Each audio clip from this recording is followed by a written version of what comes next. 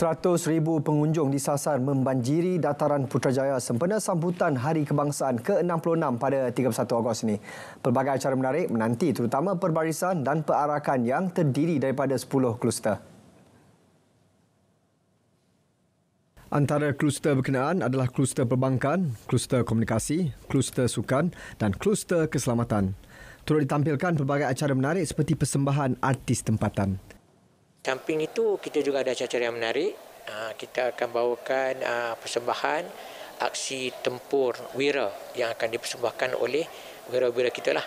Ah, Red Warrior Army daripada ATM.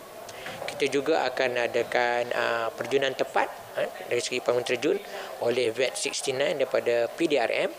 Kita juga akan adakan demonstrasi unit anjing K9. Kita juga ada uh, aktiviti pergendangan ini pun agak istimewa uh, pada saya dimaklumkan tahun ini kita akan lebih ramai lagi 400 orang akan terlibat dalam pergendangan itu ini dibawakan oleh Jabatan Kesenian dan Kebudayaan Negara lah Datuk Muhammad Fauzi ditemui selepas menjadi tetamu Selamat Pagi Malaysia. Orang ramai dialu-alukan hadir memeriahkan program yang bermula seawal 7 pagi.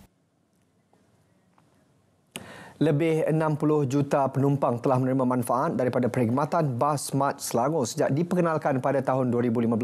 Perkhidmatan bas itu meliputi kesemua 12 pihak berkuasa tempatan. PBT membabitkan 166 buah bas bagi 52 laluan. Laporan Zanariah Zainal Abidin.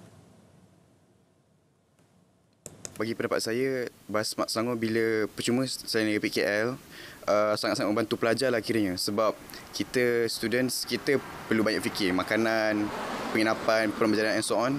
So bila ada kemudahan seperti Smart Selangor yang cuma selesa tak berebut sangat saya rasa ini sangat bagus lah untuk pelajar. Uh, sebenarnya sangat membantu terutama sekali untuk pelajar-pelajar yang duduk di luar sebab uh, kemudahannya sangat cepat and actually sangat selesa lah untuk student-student apabila terutama sekali yang Uh, tempat-tempat yang diorang duduk tu bukan dalam capaian UiTM.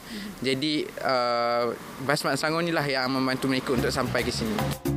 45 juta ringgit diperuntukkan setiap tahun untuk perkhidmatan bas Selangor ini. Penggunaan tertinggi ialah pada 2019 iaitu 15.6 juta penumpang merangkumi laluan ke institusi kerajaan, sekolah, pusat perubatan kerajaan dan pusat komersial. Ia disediakan secara percuma untuk warga negara manakala cas 90 sen pula dikenakan kepada warga asing Ramai yang mengharapkan agar perkhidmatan ini dikekalkan, ekoran perbelanjaan menggunakan pengangkutan awam makin bertambah. Very convenient lah, boleh pergi di sini sana. Tak perlu um, bayar kan free percuma. Ya, best lah. Ya, bagus. Selesa. Aircon, ada tempat duduk, tak perlu berdiri lama. Ya, Uh, I pun macam agak terkejut lah. Ada, ada percuma kat sini. Sebab I was tadi I masuk bas pun I tengah apa panggil I tengah cari tak cenggo.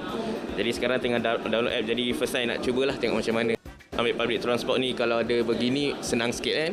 Uh, dan of course kita pun menjagalah environment kan Selain menjadi pengangkutan harian, bas ini juga berjasa sebagai kenderaan yang membawa pesakit COVID-19 ketika pandemik itu melanda pada 2020. Juga menghantar petugas kesihatan ke pusat kuarantin serta pusat pemberian vaksin PPV perlu fikir panjang gunakan perkhidmatan yang telah disediakan kerajaan ini kerana ia telah diberikan secara percuma. Bukan sahaja dapat menjimatkan kos pengangkutan anda malah dapat mengurangkan kesesakan lalu lintas. Laporan Zanaria Zana Abidin RTM